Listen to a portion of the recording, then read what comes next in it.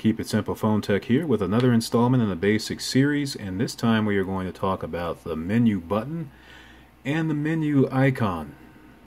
So let's start by talking about the menu button. Now first of all the menu button is a dying breed. In fact I think unless you have an older phone going back maybe two years or older, an older smartphone, you probably won't even see a menu button a dedicated menu button on your phone like what we have here in front of us. So let's just take a look at it here. This is the menu button. Forgive that light there. Let's get it out of the light so we can show you that a little bit more clearly. There we go. That's the menu button. For Samsung, the menu button always on the left side of the home button. Whereas any other Android manufacturer, they would put the menu button on the right side of the home button. Now that we have an idea of location, let's talk about what the menu button does. Well, depending on the screen that you're on, it's going to provide you with a menu or a list of options. We're on the home screen here, so let's just show you this example. When I press on the menu button, you'll see a menu of options. The options pertain to the screen that you're on. So here I am on the home screen and the options that I have here, they all pertain to the home screen. Now we're in the text message application and if I press on the menu key, I will get options that pertain to text messaging, like composing a text message. In this option, in this case, I have an option for searching through text messages if I had any on this phone, and then settings specific to the text message application.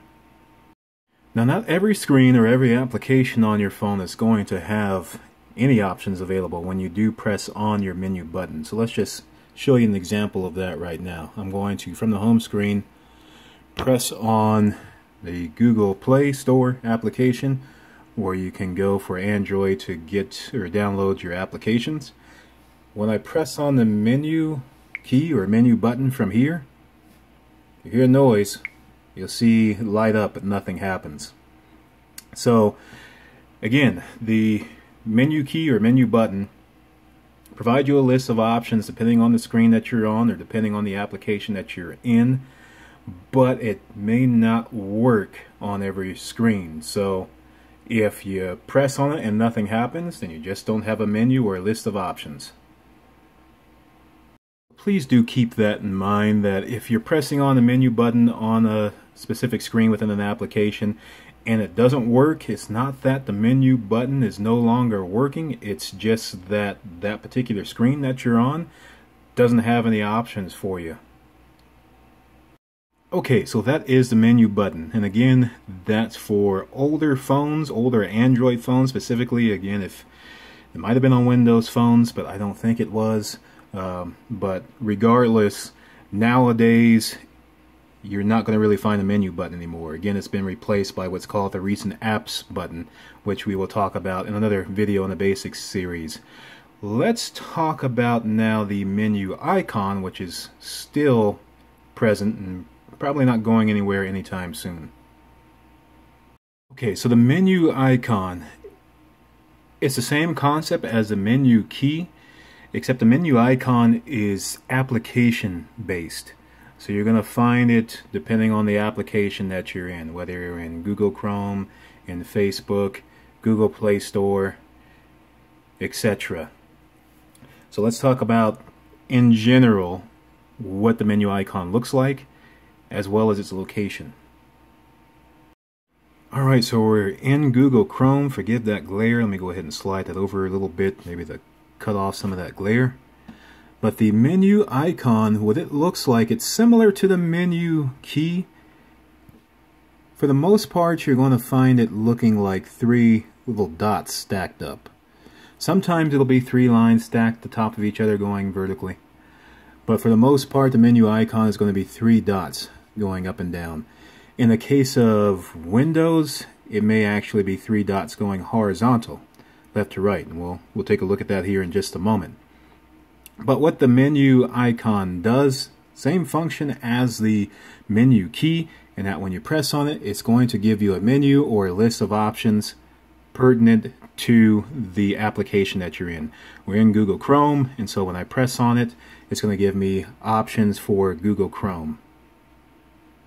We have a Windows phone in front of us now, and just wanted to show you the example of the menu icon on Windows, how it's done.